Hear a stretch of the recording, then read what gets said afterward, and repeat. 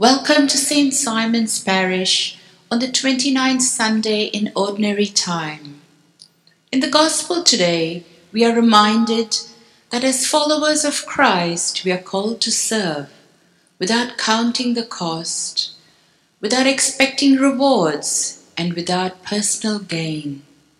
Jesus, the Son of God, emptied himself to be a servant for all. May we as church adopt a more inclusive, compassionate attitude to share God's love with all. Please stand as we welcome our celebrant, Father Kevin, as we sing our opening hymn.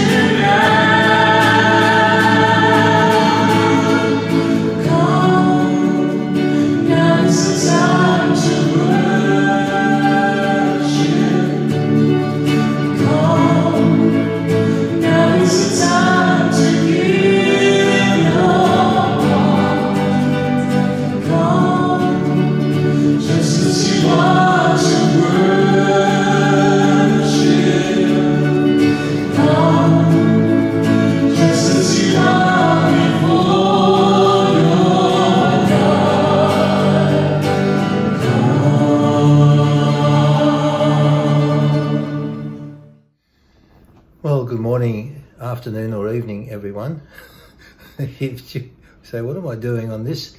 I've tuned in for Mass. I'm Father Kevin Dillon, parish priest of St Simon's in Rowville. Normally, I'm dressed a little differently from this, but I'm actually in the hospital for the second time in the month. But I'm still okay and coming good from a very troublesome ulcer. I'm very grateful to people for their prayers to uh, get me along. Hopefully, I'll be out mid of next week and back to normal ASAP. In the meantime, I just take this opportunity to say thank you to all the crew back at St Simon's who've kept the uh, online masses going, which I have been, in fact been watching myself on a regular ba- or daily basis. But especially I'd like to thank Oblate Priest Father Paddy Moroney, who's a long-term friend of mine, but doing an absolutely splendid job. He was principal at Mazenod College for many years, but a wonderful man and a great and very committed priest. He'll be looking after the Sunday Mass next week, so I'll be having a week off even if I'm home. But for this week, we've got a bit of a hybrid.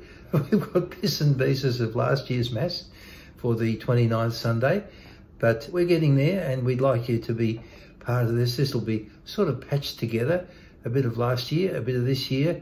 Who knows? Hopefully it'll come out well and be of, of help to you. I'm on the mend, getting there bit by bit, and very grateful for the wonderful care I've received at two extraordinarily magnificent hospitals, Mulgrave Private and uh, now I'm in St John of God in Geelong for a little while, having had a spell at home and then a bit of a downturn. Circumstances brought me back to uh, to Geelong for a, a, week or so. God bless you all, and uh, I'll be seeing you at the gospel time in a few moments. In the name of the Father, and of the Son, and of the Holy Spirit. Amen. The grace of our Lord Jesus Christ, the love of God, and the communion of the Holy Spirit be with you all. And with your spirit. So, welcome to you all, people watching this on the website in different places and situations, I suppose, and at different times. People who are listening to this Mass on 89.9 The Light, our extended congregation that we've had for quite some years, are always a very important part of our Mass from St Simon's each week, and a very small handful of us, not even a handful really, actually in the church, in order that we can present this Mass to you. But we hope it's something which can give you a sense of engagement with the Lord, renewing and strengthening of faith, and maybe a bit of consolation in these difficult times which we're all struggling through in different ways. And through the week, I've heard many distressed stories of people who really finding it very difficult in the ongoing restrictions and limitations that we have. So, lots of things to pray about, lots of things to think about, and ask the Lord's help and strength. And let's ask for forgiveness for our sins. Lord Jesus, you came to reconcile us to the Father and to one another. Lord, have mercy. Lord, have mercy. You heal the wounds of our sin and division. Christ, have mercy. Christ, have mercy. You intercede for us with the Father. Lord, have mercy. Lord, have mercy. May Almighty God have mercy on us, forgive us our sins, and bring us to everlasting life. Amen. Glory to God in the highest, and on earth peace to people of good will. We praise you, we bless you, we adore you, we glorify you. We give you thanks for your great glory. Lord God, heavenly King, O God, Almighty Father, Lord Jesus Christ, only begotten Son, Lord God, Lamb of God, Son of the Father, you take away the sins of the world, have mercy on us. You take away the sins of the world, receive our prayer. You are seated at the right hand of the Father, have mercy on us.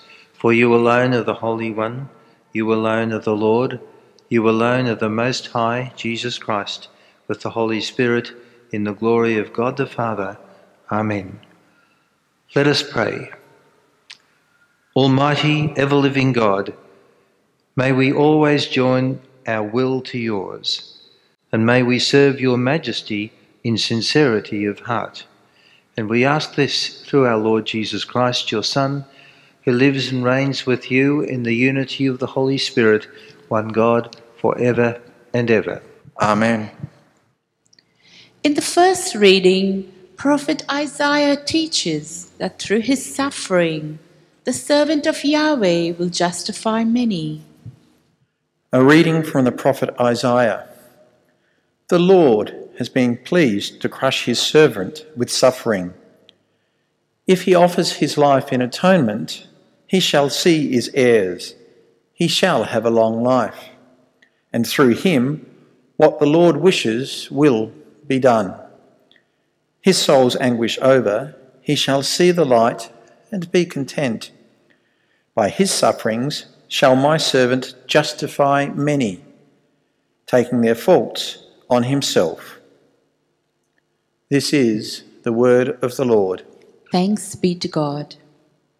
Our response today Lord, let your mercy be on us as we place our trust in you. Lord, let your mercy be on us as we place our trust in you. The word of the Lord is faithful, and all his works to be trusted. The Lord loves justice and right, and fills the earth with his love. Lord, let your mercy be on us as we place our trust in you. The Lord looks on those who revere him, on those who hope in his love, to rescue their souls from death, to keep them alive in famine. Lord, let your mercy be on us as we place our trust in you. Our soul is waiting for the Lord. the Lord is our help and our shield. May your love be upon us, O Lord, as we place all our hope in you. Lord, let your mercy be on us as we place our trust in you. In the second reading, St. Paul highlights that Jesus is the high priest who sympathizes with our weaknesses. A reading from the letter to the Hebrews. Since in Jesus, the Son of God, we have the supreme high priest who has gone through to the highest heaven, we must never let go of the faith that we have professed. For it is not as if we had a high priest who was incapable of feeling our weaknesses with us, but we have one who has been tempted in every way that we are, though he is without sin. Let us be confident then in approaching the throne of grace, that we shall have mercy from him and find grace when we are in need of help. This is the word of the Lord. Thanks be to God. Please welcome the gospel today with the acclamation Alleluia, Alleluia. The Son of Man came to serve and to give his life as a ransom for all. Alleluia. A reading from the Holy Gospel according to Mark. To you, O Lord. James and John, the sons of Zebedee, approached Jesus. Master, they said to him, we want you to do us a favour. He said to them, What is it you want me to do for you? They said to him, Allow us to sit one at your right hand and the other at your left in your glory. You do not know what you are asking, Jesus said to them. Can you drink the cup that I must drink, or be baptized with the baptism with which I must be baptized? They replied, We can.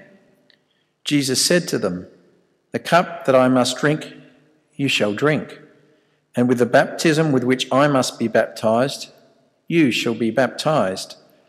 But as for seats at my right hand or my left, these are not mine to grant. They belong to those to whom they have been allotted. When the other ten heard this, they began to feel indignant with James and John. So Jesus called them to him and said to them, You know that among the pagans, their so called rulers lord it over them, and their great men make their authority felt.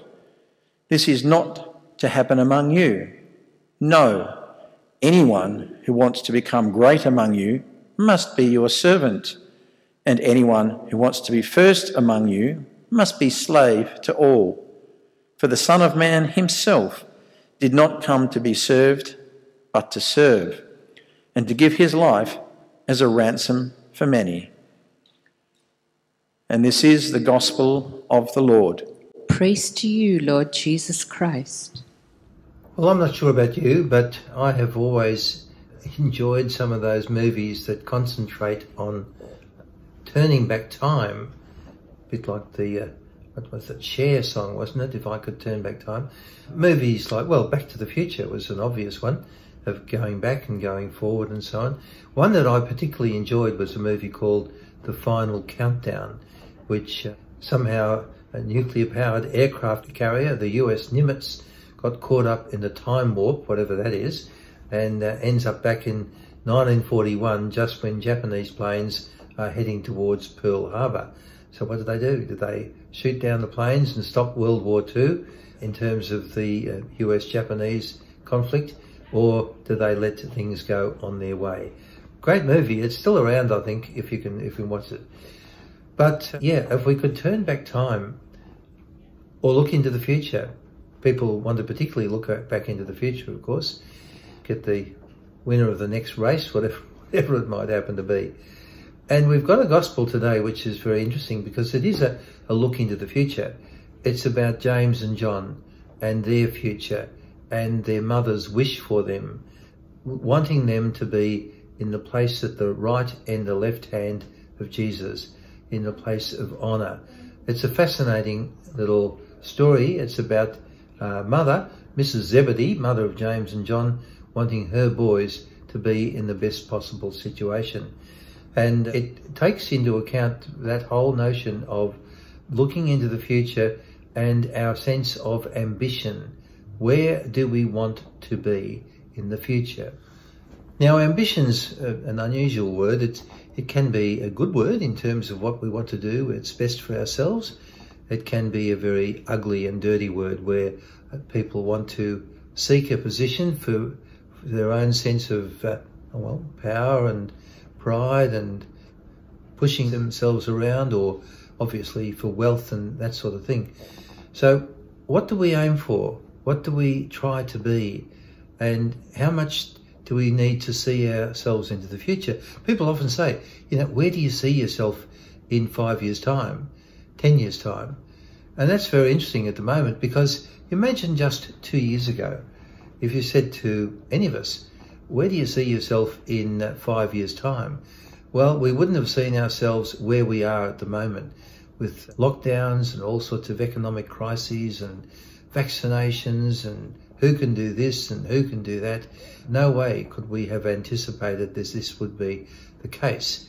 So it's a, it's a bit of a reminder to us of something tremendously important, and that is the importance, while the past is important and we learn from it, and the future is important because as best we can, dare I say, we plan for it, but what is most important is something which really within the context of ambition, this is James and John, you know, looking towards the future maybe a bit too far, of the importance of the here and now, of the things that we can do in the present, and the difference that we can make to our own lives and those of others right here and now. Not too far into the future and not living in the past, but in the here and now and what we can be to one another and how we can support and care for one another. That's what Jesus is talking about. Quite some years ago, when I was ordained a priest in 1969, early in parishes in the 1970s, there was a sort of a buzz thing that was talked about then about the sacrament of the present moment, it was called. And it was, it was good. It was something which recognized the importance of what we're doing today. Don't plan too far into the future we mightn't get there. Don't live in the past. And that sacrament of the present moment is just so important. And where we see James and John looking ahead into the future and the place on the right and the left, and Jesus says, Oh, boys, are you sure you know what you're asking for? Of course, it was pointed out to me by a priest who was very good in Hebrew many years ago. I don't know Hebrew whatsoever in my time in the seminary. I was taught it, but I didn't learn anything. But he said, in the words that are used, those words were only used in the New Testament one other time, and that's about the thieves that are crucified on either side of Jesus, one on the right, one on the left. So this position that the mother of James and John wants for her boys is one that for which a price has to be paid. And that's all the more reason why we look towards not too much into the future, not too much into the past, but very much into today. What we can do today. Who would have ever thought, as I said earlier, that we would be in the situation we're in at the moment just a couple of years ago? The world has changed and we're not quite sure if it's ever going to go back where it was. In the meantime, the idea of the sacrament of the present moment has very much to commend it and to do what we can when we can and where we can. And we ask God's grace to help us to do that. So this is my best effort to put together a little homily for the day's Mass. If it's a bit disjointed, it's because it's had to be done in two minute grabs because that's all my iPhone will manage to transmit. God bless you all and hope to see you on our YouTube channel in the next couple of weeks. God bless. Bye. Let's now stand. And if you're sitting at home, you can still remain sitting at home, force of habit. And we profess our faith together. I believe in God, the Father Almighty, creator of heaven and earth, and in Jesus Christ, his only Son, our Lord, who was conceived by the Holy Spirit, born of the Virgin Mary, suffered under Pontius Pilate, was crucified, died, and was buried. He descended to the dead. On the third day he rose again. He ascended into heaven and is seated at the right hand of God the Father Almighty. From there he will come to judge the living and the dead. I believe in the Holy Spirit, the Holy Catholic Church, the communion of saints, the forgiveness of sins, resurrection of the body, and life everlasting. Amen. So now we come confidently asking God to hear the prayers of our heart. We pray for the leaders of all nations that they will be freed of ambition and devote themselves in selfless service to the good of community. We pray to the Lord. Lord, hear our prayer. We pray that today's International Day for the Eradication of Poverty will bring renewed efforts to share the world's resources justly with those in need. We pray to the Lord. Lord, hear our prayer. We pray for young people struggling with mental health issues that they will find the personal companionship and professional help they need. We pray to the Lord. Lord, hear our prayer. We pray for public health workers engaging with culturally diverse communities that they will help them respond effectively to the COVID challenge. We pray to the Lord. Lord, hear our prayer. We pray for the sick and those who care for them. We pray for those who have died recently. We also pray for Rosemary Johans, Eileen Crowley, Noel and Franz de Argent, Margaret Whittle, Tyrone Jantz, and all whose memory we keep sacred at this time. May God welcome them into the eternal kingdom. We pray to the Lord. Lord, hear our prayer. Heavenly Father, we make these prayers together with those deep within our hearts with confidence in the name of Christ Jesus, who is Lord forever and ever. Amen.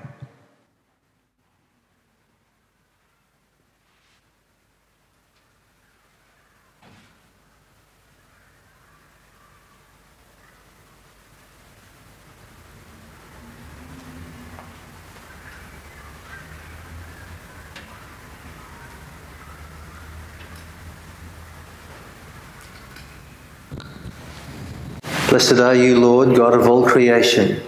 Through your goodness we have received the bread we offer you, fruit of the earth and work of human hands. It will become for us the bread of life. Blessed be God forever.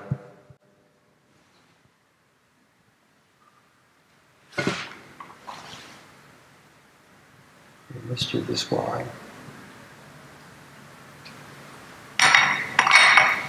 And water. We come to share in the divinity of Christ, who humbled himself to share in our humanity. Blessed are you, Lord, God of all creation. Through your goodness we have received the wine we offer you, fruit of the vine and work of human hands. It will become our spiritual drink. Blessed be God forever. Lord God, we ask you to receive us, so please, the sacrifice we offer you, humble and contrite hearts.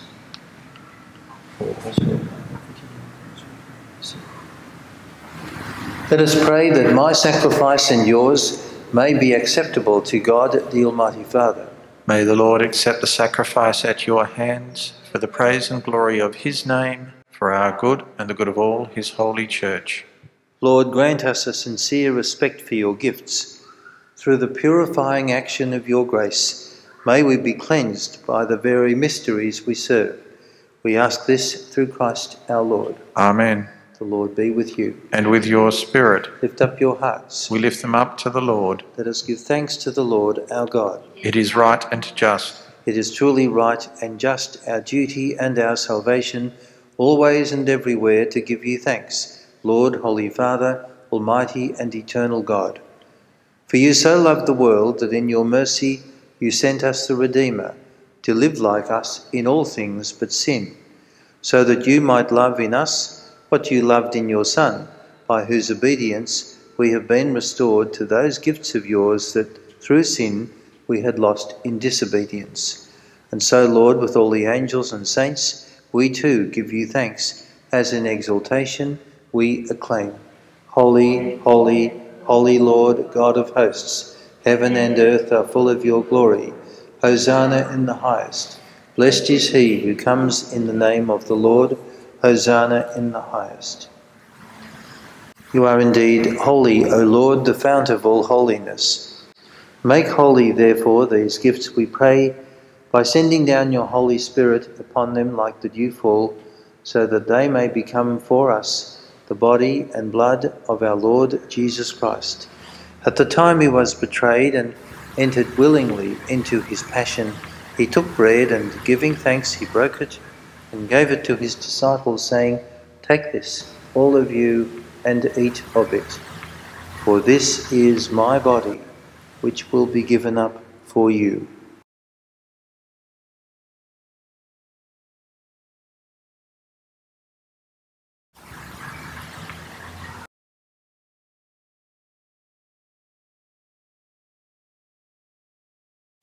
In a similar way, when supper was ended, he took the chalice and once more giving thanks, he gave it to his disciples, saying, Take this, all of you, and drink from it.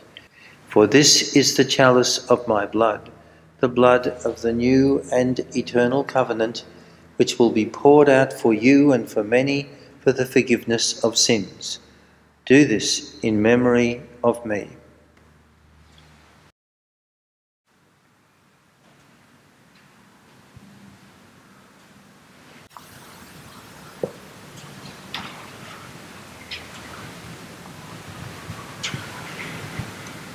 The mystery of faith. We proclaim your death, O Lord, and profess your resurrection until you come again.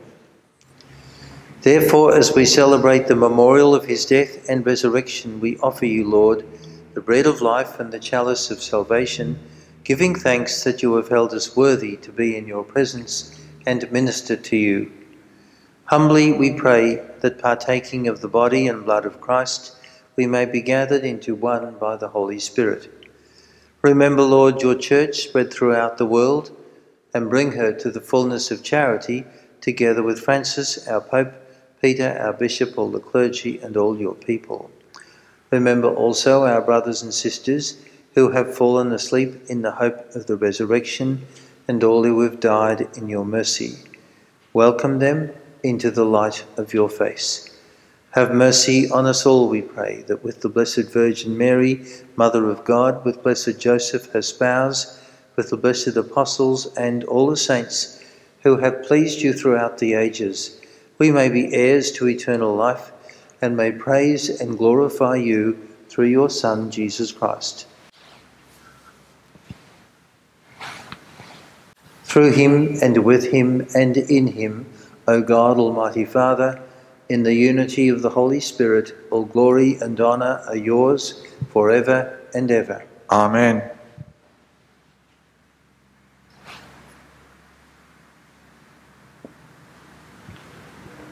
At the Saviour's command, and formed by divine teaching, we dare to say, Our Father, who art in heaven, hallowed be thy name. Thy kingdom come, thy will be done on earth as it is in heaven. Give us this day our daily bread, and forgive us our trespasses, as we forgive those who trespass against us. And lead us not into temptation, but deliver us from evil. Deliver us, Lord, we pray, from every evil. Graciously grant peace in our days, that by the help of your mercy we may be always free from sin and safe from all distress, as we await the blessed hope and the coming of our Saviour, Jesus Christ. For the kingdom, the power, and the glory are yours, now and forever. Lord Jesus Christ, you said to your apostles, Peace I leave you, my peace I give you. Look not on our sins, but on the faith of your church, and graciously grant her peace and unity in accordance with your will. You live and reign forever and ever. Amen. Peace of the Lord be with you always. And with your spirit. Now, as best we can, wherever we are, whoever we're with, we offer each other a sign of peace and friendship in Christ.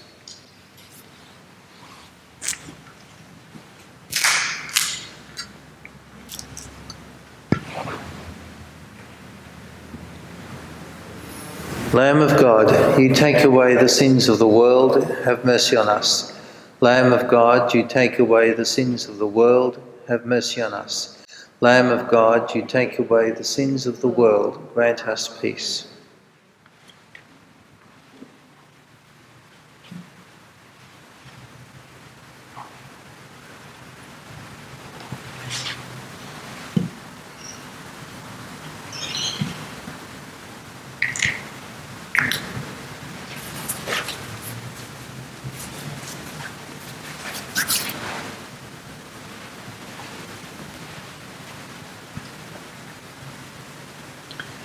Behold the Lamb of God. Behold him who takes away the sins of the world.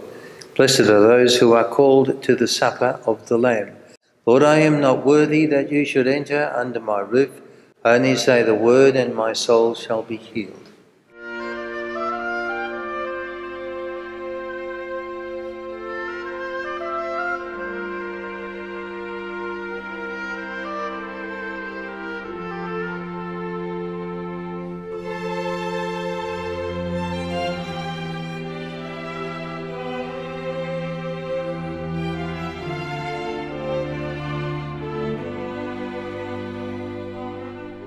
Spiritual communion prayer links us with the mystery of the Eucharist and that central expression of faith that the reception of Holy Communion, sacramentally and as we do now spiritually, is such a marvellous expression of what we believe of the presence of God in our life.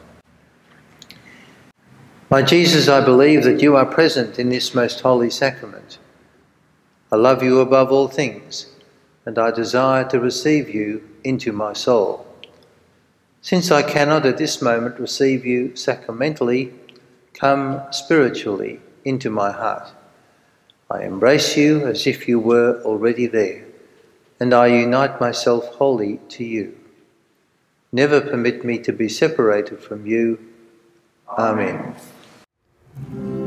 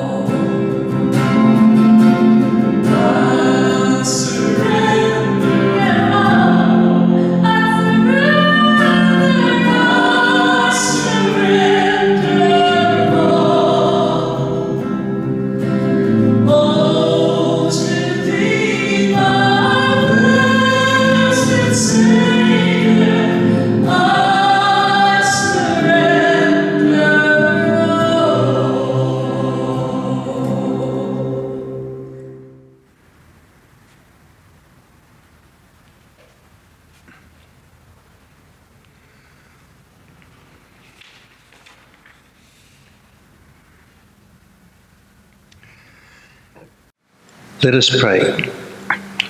Lord, grant that by benefiting through our participation in heavenly things, we may be helped by what you give us in this present age and be prepared for the gifts that are eternal. We ask this through Christ our Lord. Amen. So, hopefully, in the week that is ahead, you'll receive many blessings. The Lord be with you. And with your spirit. May Almighty God bless you, the Father, the Son, and the Holy Spirit. Amen. Let us go in peace to love and serve the Lord. Thanks be to God.